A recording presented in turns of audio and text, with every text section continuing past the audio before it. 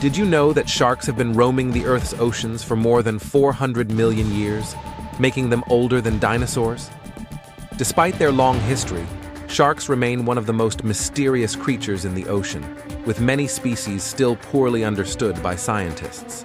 Some sharks, like the Greenland shark, are known to live for centuries, adding to the intrigue surrounding these ancient predators.